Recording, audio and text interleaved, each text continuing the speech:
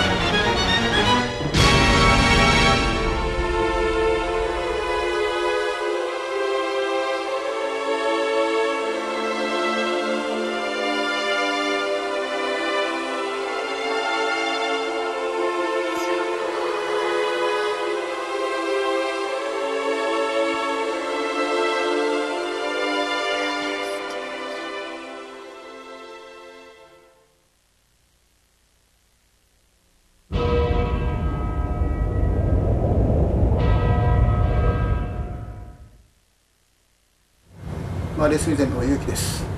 えー、8月23日に、えー、リリースした。ニューアルバム「バランス制度」はもう聴いていただけたでしょうか、えー、このアルバムはですね結構3人で長い期間レコーディングに入ってたわけですけど、まあ、今回より世界より深い世界観このアルバムで表現できることができたと思いますのでライブにはぜひこのアルバムを聴いて来てほしいですね。それではライブで